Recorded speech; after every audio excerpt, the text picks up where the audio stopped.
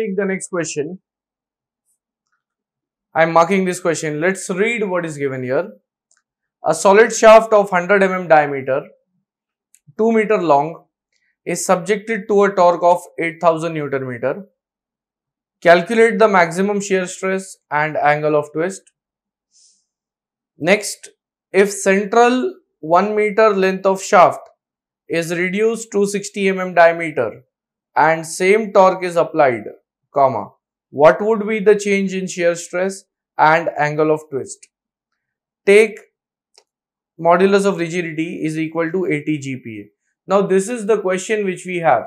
Let us write the data for this question. It is given a solid shaft is there. So I'll write the type of shaft.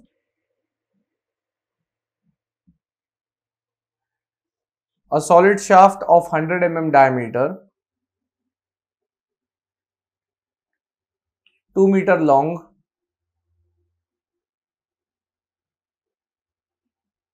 is subjected to a torque of 8000 Newton meter.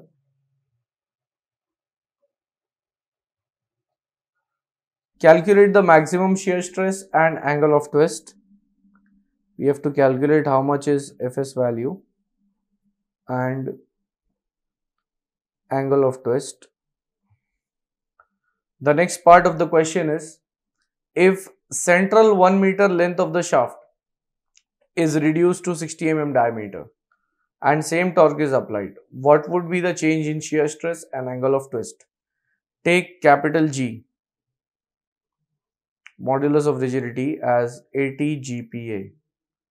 So it is 80 into 10 raised to 3 Newton per millimeter square what we will do here first I'll solve the first part of the question that is I'll calculate maximum shear stress and angle of twist and then I would be going on to the second part. So whatever is given here based on this we will start with the solution.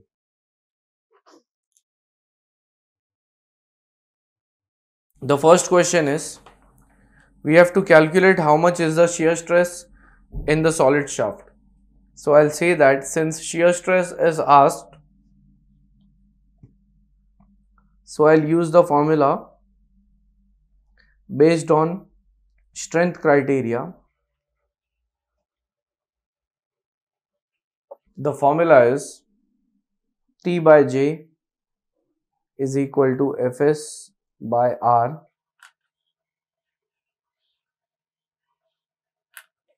Therefore, your torque is given as 8000 into 10 raised to 3 Newton mm.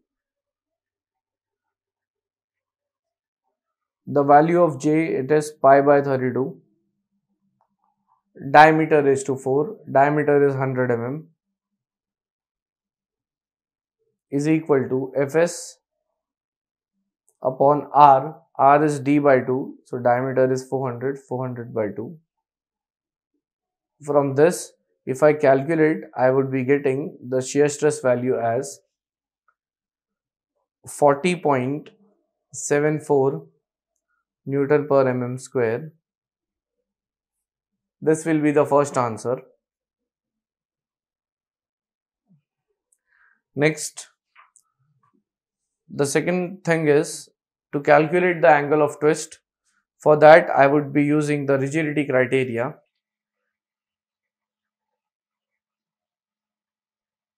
So here I have the formula T by J is equal to G theta by L.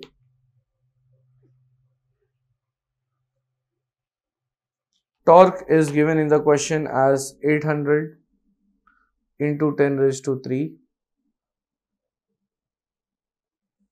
J is pi by 32 100 raised to 4 because the diameter is 100 modulus of rigidity it is 80 into 10 raised to 3 theta is the angle of twist which we have to calculate. Length of the shaft is 2 meters so that comes out to be 2000 mm. Therefore if I shift all the terms that on one side and keep theta on the other side, I would be getting my answer of theta as 0.02 radian.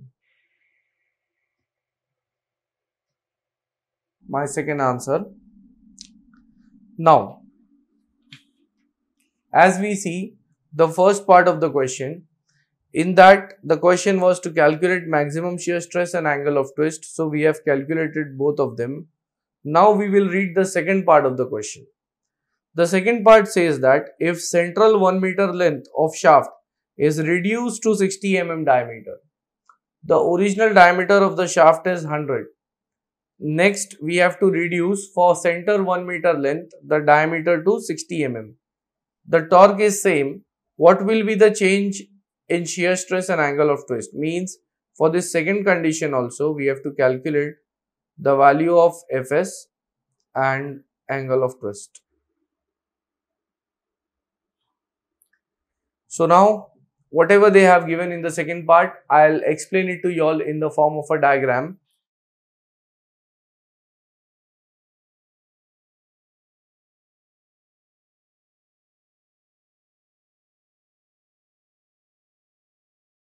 Now, the length of this shaft is 2 meters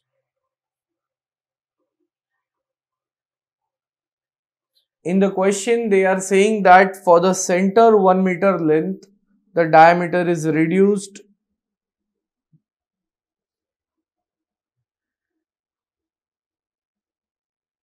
It is reduced to 60 mm so at first the diameter of the enlarged portion this would be as given in the question it is 100 mm Now for 1 meter center portion the diameter is 60 mm and for this condition we have to calculate the values of Fs shear stress and the value of total angle of twist. Since when the diameter was 100 mm, we already have the shear stress value for this portion. Now I will, I will be calculating the shear stress for this reduced portion. I'll say that based on strength criteria because we need to find out shear stress.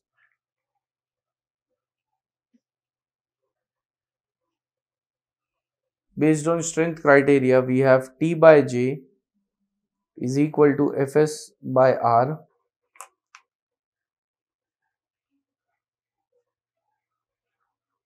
Therefore, T is 8000 into 10 raised to 3.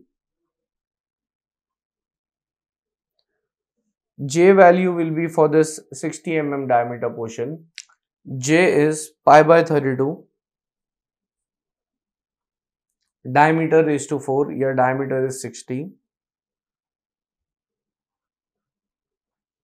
Is equal to fs. I'll keep it as it is because that is what we have to calculate.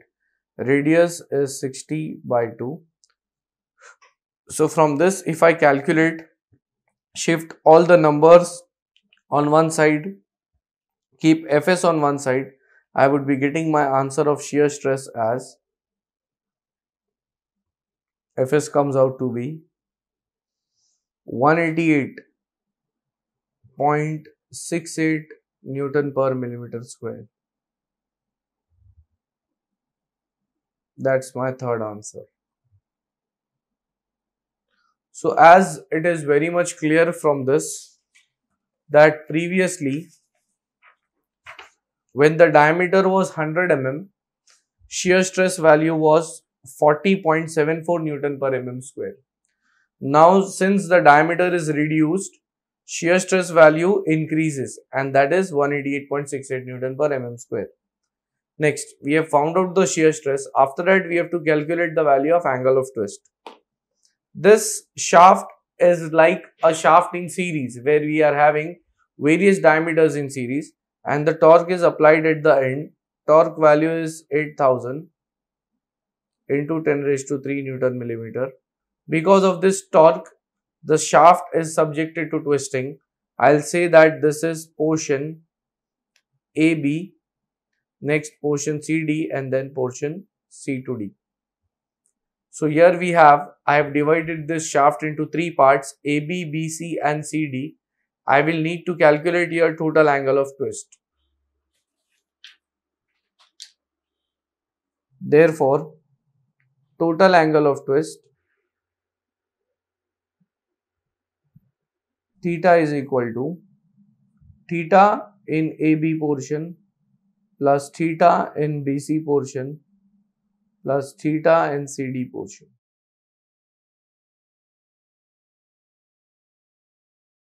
Therefore, theta is equal to, for AB portion, theta is given by, since I can say that T by J is equal to G theta by L. So therefore theta will be equal to T into L upon Gj. So for AB portion, I'll write this as T into L upon Gj.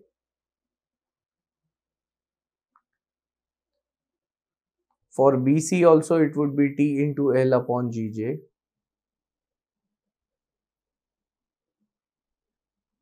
And for CD is also T into L upon Gj.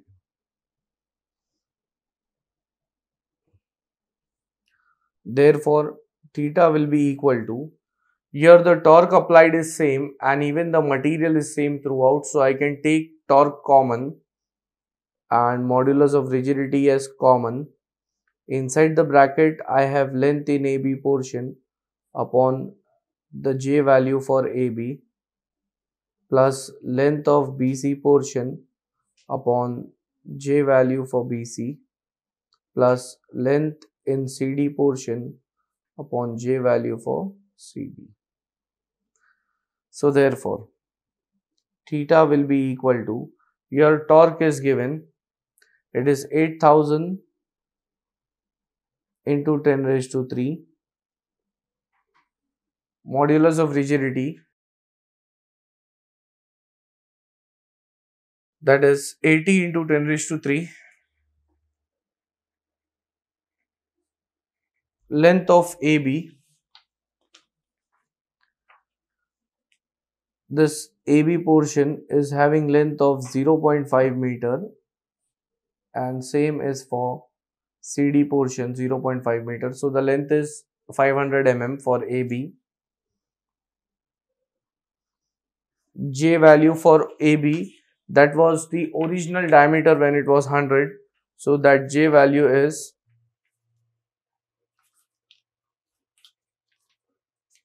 it was 9.82 into 10 raised to 6 plus length of portion BC, it is the central portion having length of 1 meter, so that becomes 1000 mm